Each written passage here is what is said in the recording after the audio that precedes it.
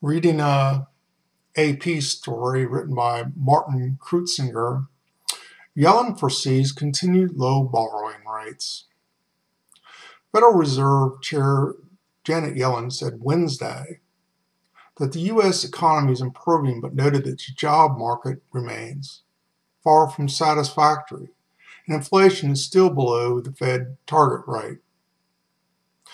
Yes, it's far from satisfactory. We are much lower than the number of people that were employed in the 70s, Ms. Yellen.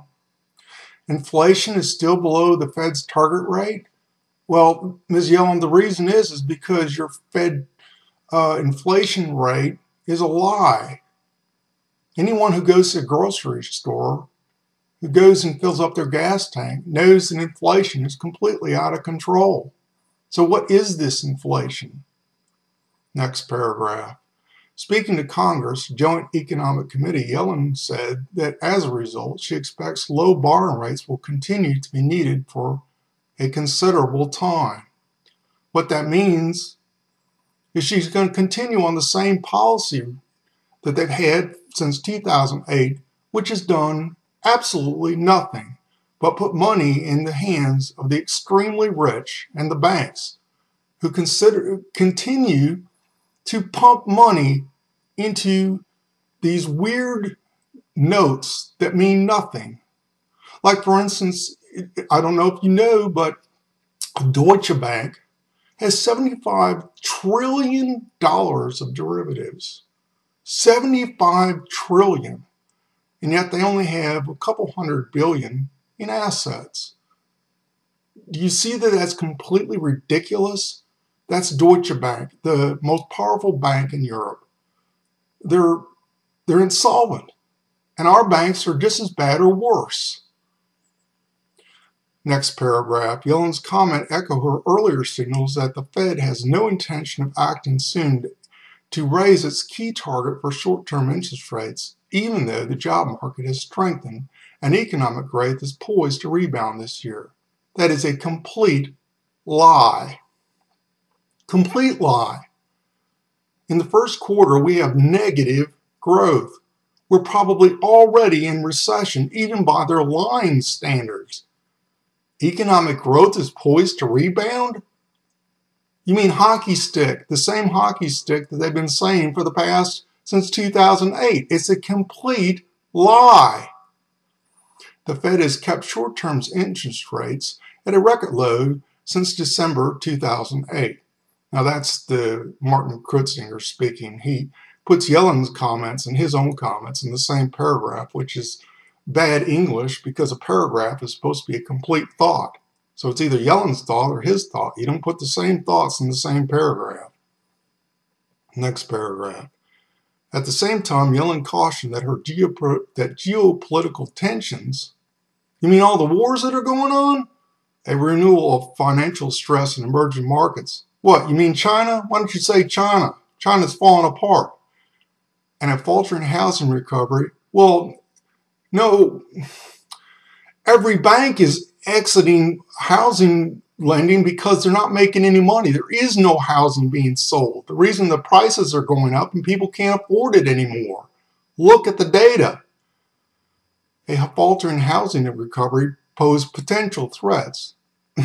potential?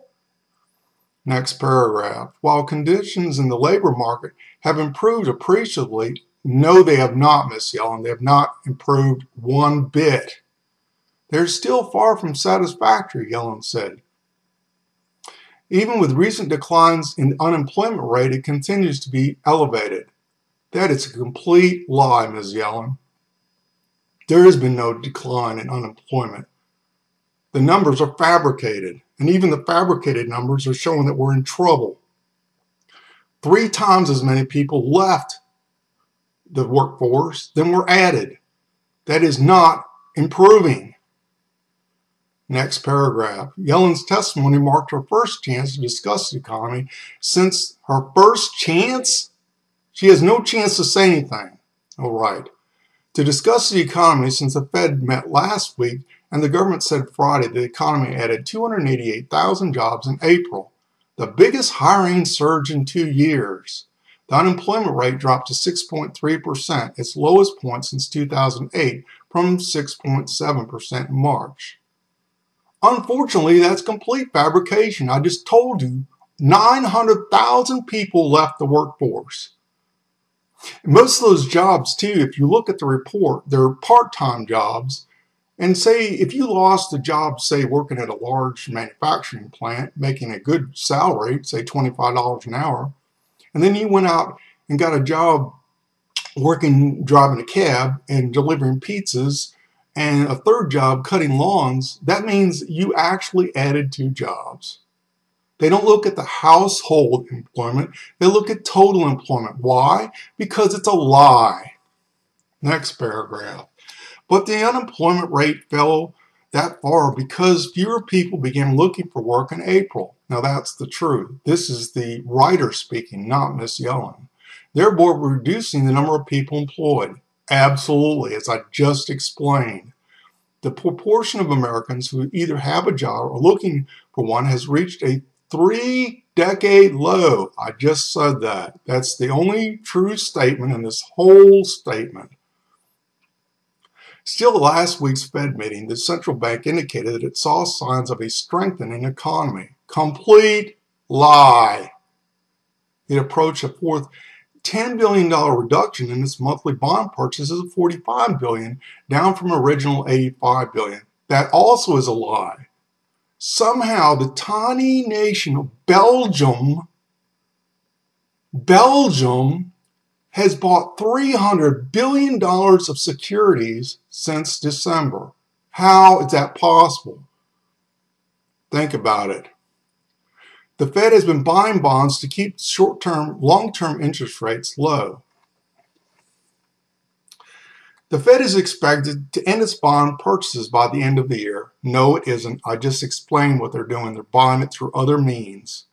But even when it does, the Fed will maintain its holdings at a record level above 4 trillion, which says they're not changing a darn thing, thereby providing continued downward pressure on long-term rates. Well, we'll see what happens. They don't know what they're talking about.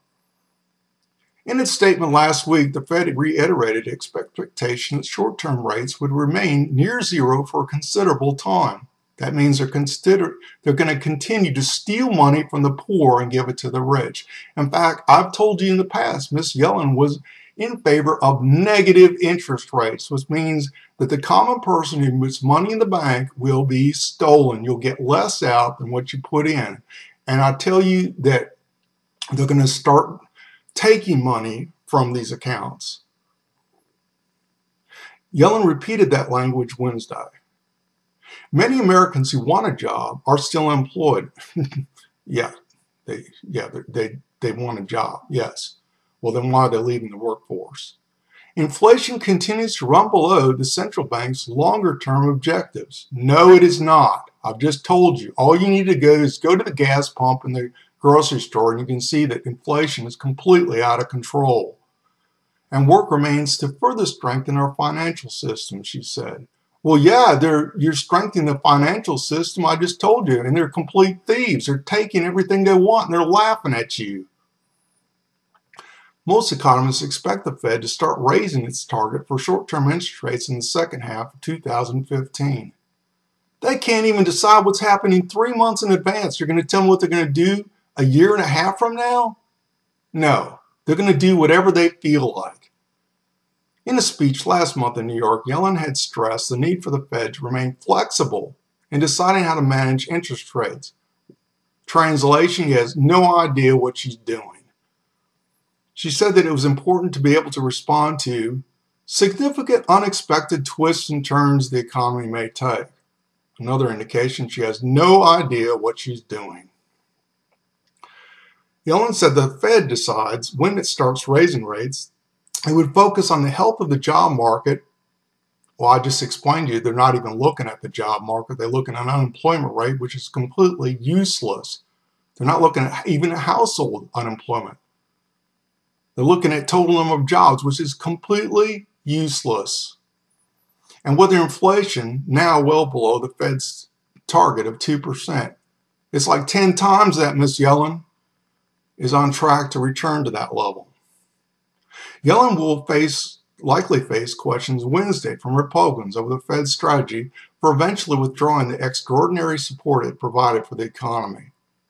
Uh, don't hold your breath. The Republicans aren't going to do anything. They're all in bed together. They're all thieves. Every one of them, the whole government, are thieves. I can tell you one of the things that's going to happen pretty soon. Did you see the thing about my IRA? Do you know why that's been put out there? My IRA? Because they need to strengthen their balance sheet. They know how much money they printed. Their balance sheet looks horrible. That's one of the reasons they're cutting back. Do you know how they're going to improve their balance sheet? They're going to steal it, just like Poland did, just like the banks in Cyprus did. They're going to come for your IRA. And they're going to say, oh no, it's still there, it's still there. No, they're going to steal it. That's how they're going to decide to improve their balance sheet. And once they improve their balance sheet, what do you think they're going to do? Print more money, which does absolutely nothing. Last paragraph. Many Republicans have expressed concerns. yeah, sure. That the Fed's low rate programs are raising the risk of financial market instability. It's coming. And high inflation in the future, in the future, it's already here. End of Martin Crutsinger of the AP's following of Janet Yellen in the Fed meeting today.